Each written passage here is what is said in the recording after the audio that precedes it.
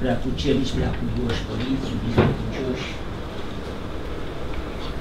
avem în față din predicile susținute de Părintele Galeri, începând cu 1989, primăvara 1989, înainte de postul mare, în timpul postului mare și după postul mare până la Sfinții Împărați Constantin și Elena. Sunt date din totuși de câteva informații despre modul cum au fost acestea administrate, scrise de câte pe Sfântul Părinte.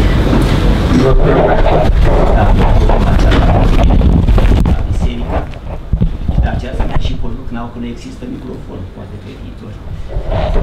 Avea și, și atunci va fi mai ușor, dar voi încerca da, să vorbesc mai e, tare, nu iertați pentru neputință. Și atunci în introducere sunt date câteva informații și totuși atunci să mai continuăm cu Bine, se mai pot spune foarte multe lucruri, dar pentru 17 ani pe Părintele Galeriu Dubovnic, i-am fost student, i-am fost conducător la teza de licență, la teza de doctorat, i-am fost preparator la facultate, atâtea duhovnic și atâtea Dar simțăm mai bine în, în 189 era menționat Părintele eram cercetător științific la cercetări pentru lectură tehnică din București. Mergeam, aveam de obligații de serviciu să merg să iau uh, apă din Dâmbovița ca să vedem cantitatea de cianură care era în Dâmbovița. Și mă gândeam pe drum care ar fi specificul Părintelui Galea. Și atunci mi-a trecut prin minte că eu preot, un teolog, care se ocupă cu adâncul, un teolog al adâncurilor. Și când a apărut cartea, și miercuri din săptămâna luminată, noi am prezentat-o la biserică, la, la mine, împreună cu Părintele Cristian, Galeriu, atunci sâmbătă, înainte de încheiere, citeam pe carte și mi s-a confirmat că, într-adevăr, Părinte Galeriu este un teolog al adâncurilor și am avut așa și o curiozitate omenească să văd de câte ori apare cuvântul adânc în acest volum. Și apare de 98 de ori.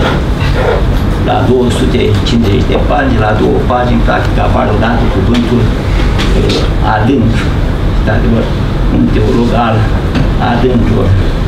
Chiar de la prima predică care o avem aici, a lui Zaheu, de la început începe Părintele, zice unul din Sfinții Părinți o rugăciune, Doamne, dăm să-mi văd păcatele mele. Ați vedea păcatele nu înseamnă a te opri cu ochii asupra păcatului, ci a merge mai adânc și a vedea păcatul în lumina lui Dumnezeu.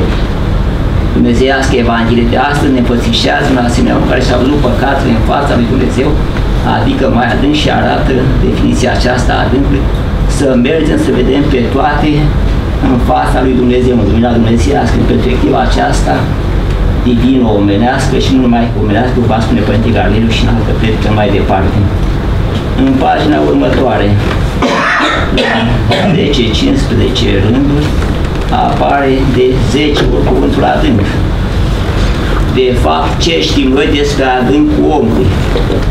Căci adâncul omului e negrăit mai adânc decât ce vedem și chiar decât ce știm. Spune Sfântul Grigore de Nisa, că așa cum Dumnezeu se și descoperă, dar e și adânc de nepătruns, la fel și om în ultima lui adâncime de nepătruns. Omul tainic al inimii, spune Sfântul, a fost profet.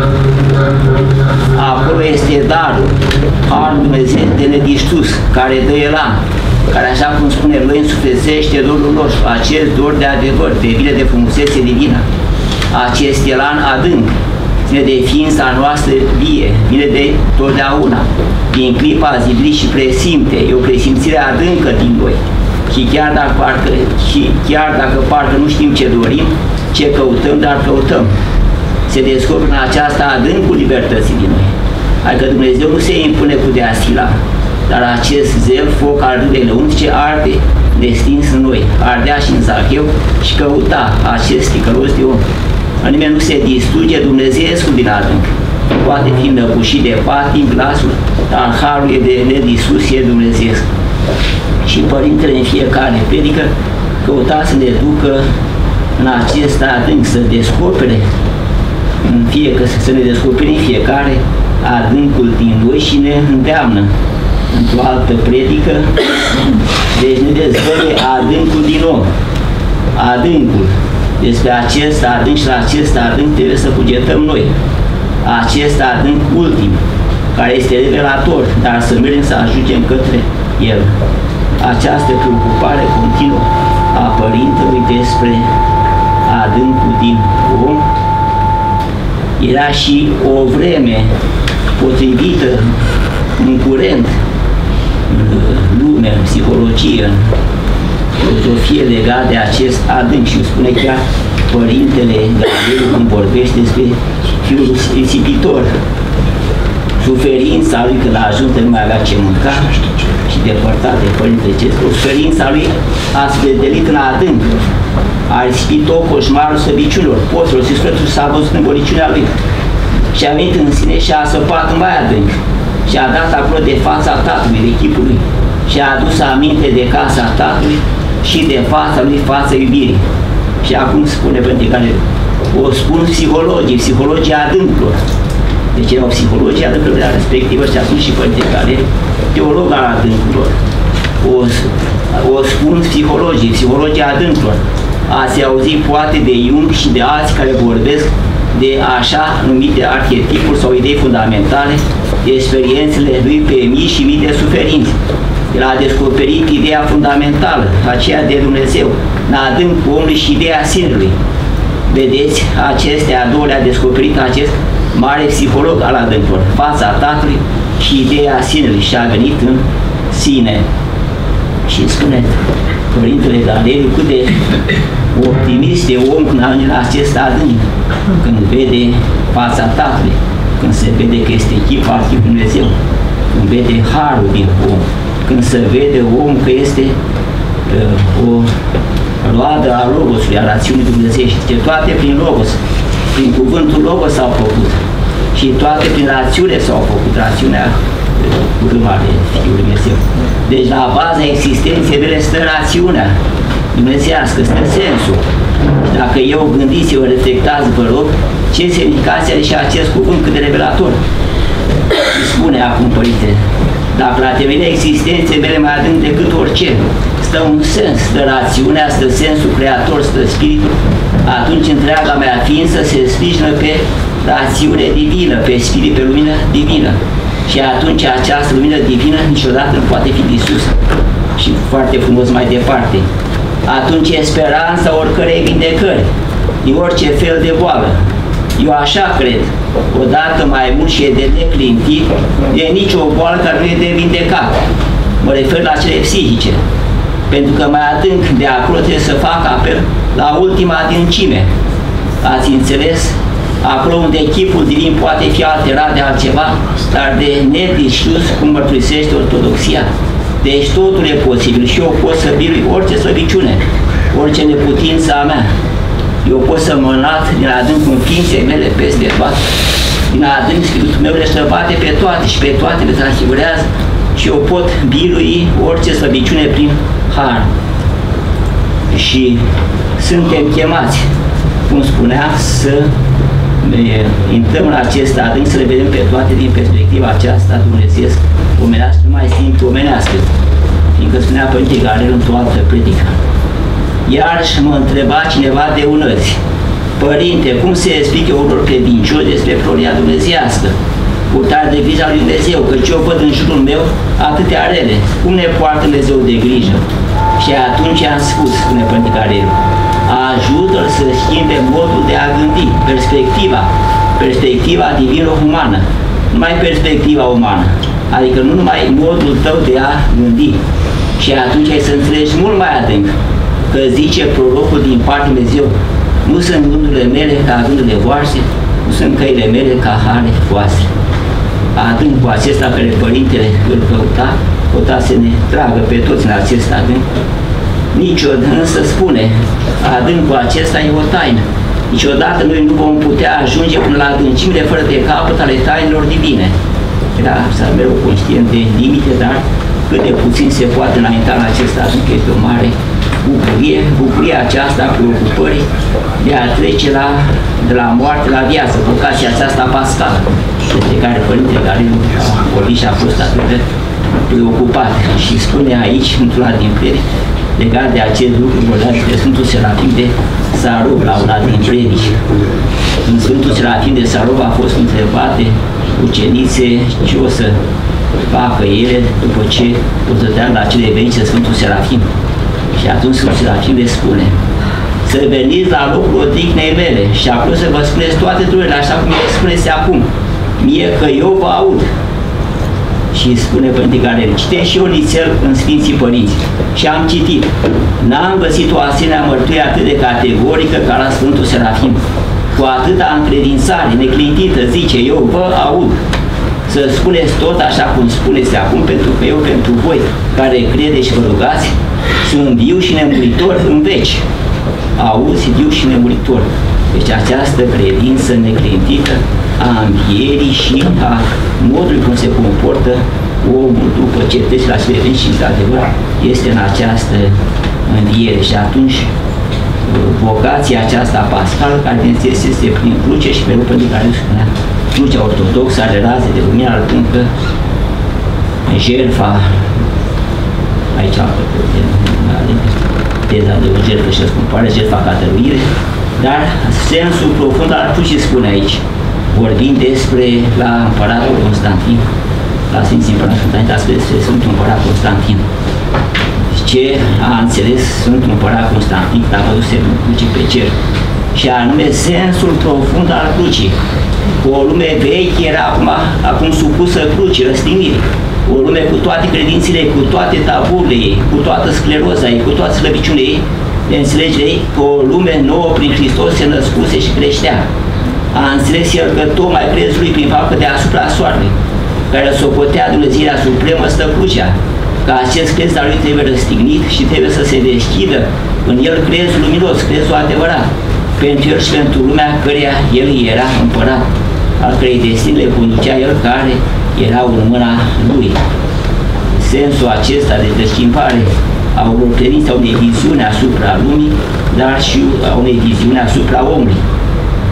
Că trebuie răstignită credința lui de până atunci, credința unei întregi lumi, unei lumi care nu cunoștea pe om, care nu-l prețuia pe om, care prețuia lumea dincolo de om, menită să fie supus om. Și dovada, dacă nu cunoștea valoarea omului, că îl prigonea pe om. Dar acum spune Părintele Galil, o lume care, în oameni care nu-și cunoșteau destinul, chemarea, tipul divin. Ori crucea arăta lui Constantin și l-a înțeles sfârșitul unei lumi. Și într-adevăr, cu toată ființa lui, el s-a dedicat construirii unei lumi în care om să nu mai fie chinuit, chip Dumnezeu să fie cinstit potrivit acestei demnități, potrivit acestei vocații, de a se realiza după echipul zitorului și el să fie ziditor în toate, în slujirea vieții, binele, adevărului divin, în slujirea învierii prin Hristos și în viața care i s-a arătat. E o căutare continuă și aici este foarte fugar ceea ce s-a prezentat. A acestui adânc al omului, acestui Duh Sfânt în care omul este chemat să fie și o mărturie că, într-adevăr, Părintele Galeru a vorbit în Duhul Sfânt. A fost congresul la facultate, dedicat predicator harismatic, un termen foarte pretențios și aprobat de patriarhie și aprobat de conducerea facultății. Părintele Galeru, predicator harismatic. Dar mai important decât aceasta, faptul că Părintele Galeru a vorbit în lucruri este faptul că citind această carte se deschide dorința, dorul de a ajuta pe cei necăjiți, pe cei săraci, pe cei umiliți, pe cei obiliți.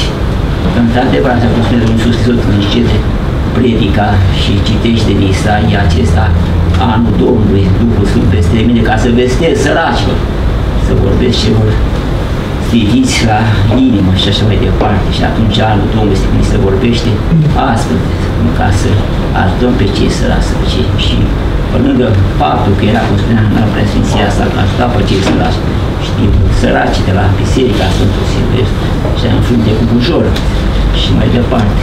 Dar faptul acesta că ne deschide gustul spre a ne a privi la cei umili, la cei necăjiți. Jertfa trebuie să se duc umilit, inima înfrântă și sferită. Spre aceasta ne cheamă Părintele, care vă mulțumesc și vă iertați.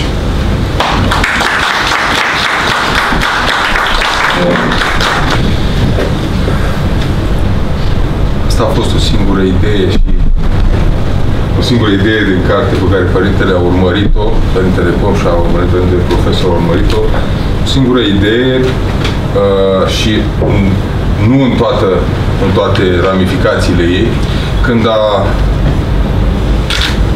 când m-a convins să începem, să intrăm la demersul acesta pe care oricum mai mult dânsul cu ucenicii lui, la, în sensul că retranscrierea, re, să zicem cum să spune, introducerea digitală a textului a fost făcută de ucenicii părintelui. După aceea am intrat noi cu corectura.